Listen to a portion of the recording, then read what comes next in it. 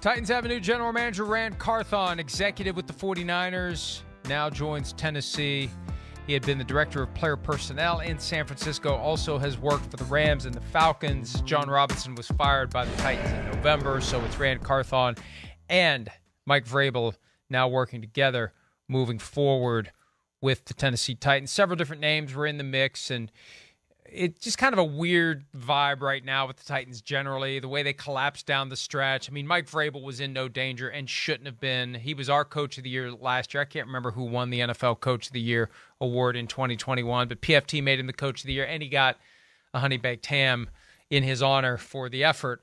Uh, they, they they have some work to do, but they're in a weak division, and we've seen what Vrabel can do with an endless cast of characters coming and going all the time. He'll have them competitive in 2023. Yes, I, I, would think so. I mean, again, I'm I'm I'm a huge fan of Mike Vrabel. I am the way they play football, you know, their their game planning. I mean, even again, I know they lost that Jaguars game, but man, they were undermanned. You know, they had issues. They managed the game perfectly. They really did. You know, and it took a miraculous play by the Jaguars to win the football game. I, I love this hiring of Ran Carthon. First off, I mean, his dad was, you know, my dad's fullback back in the day, number 44 for the New York Giants. He was awesome. He's he's really one of the, the better fullbacks in the history of football. Could do it all. But Ran, I mean, again, I, I understand Mike Vrabel wanting a guy like Ran. You know, first off, he's going, wait, we played the 49ers last year. They got a bunch of guys that you, we talk about all the time, right? That are psycho, and the coach says run through a brick wall, and they don't even think. They just go. Uh, I could see him liking that. And Ran, of course, been around the game his whole life, but has a great history of, you know, knowledge just in his time in the NFL.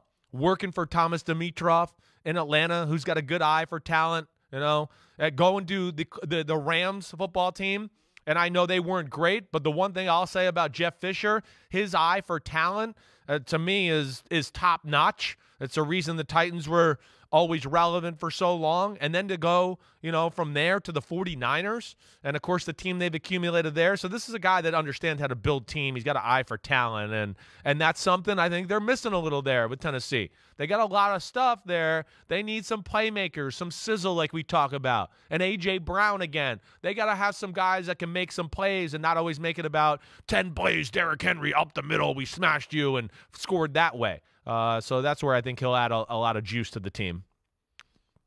Our old friend Rob Stats Guerrera, a 49ers fan. Oh, yeah. all of his life. Good old Stats. Sent this last night.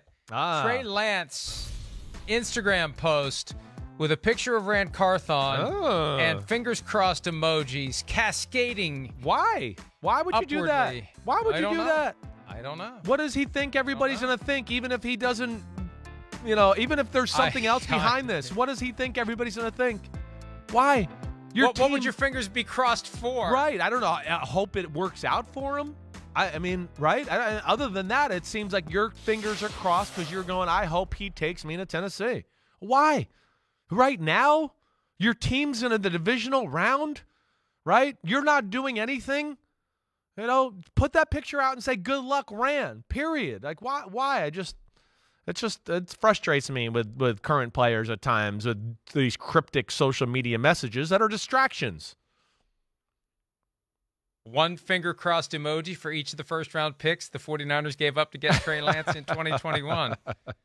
Gives us something to talk about. Yes, Gives does. us something to keep an eye on. And hey, hey, with each passing victory, Brock Purdy cements himself as the guy in San Francisco. Well, the guy that they'd been searching high right. and low to find ended up being the last guy drafted in 2022. Yeah, well, you know, it is. It, again, it makes me think about what they would be if they had Mac Jones and they drafted him. Okay, that's the first thing I'll say. But secondly, like you're right. I mean, what what's it? What's right now? All right, if they end the season this weekend, but he still plays good, right? I mean, he's definitely getting the first team reps and OTAs and training camp, right? I mean, there's there's is there any way actually at this point? I mean, what do you think it would take? He'd have to throw four interceptions and fumble the ball a few times, something along those lines. I feel like. I mean, it'd be pretty hard for the run he's gone on here for Shanahan then to get to OTAs and go, yeah, you're back to the backup here. You know, and we're going to go with the guy that was raw and we were all kind of questioning and we're trying to develop, even though we saw you do all the things that the raw guy couldn't do and ran the offense the right way. So, uh, yeah, it's going to be very interesting there. I, I just feel like they're destined to make whatever decision they make a bad one. That they're just so caught up in their own heads about it, they're going to screw this up too. It's the only the thing they can't get just right. Stick with right. Brock Purdy. Right. It's a you know yeah. me, I love the 49ers and I'm a fan and uh, of course that. But yes, this seems to be the one issue that they cannot quite get right out there.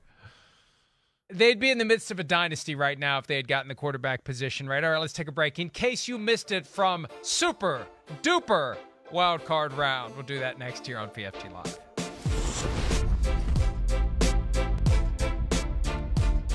Hi, it's Mike Florio. Thanks for watching PFT on YouTube. Hit subscribe for the latest news and analysis from Pro Football Talk.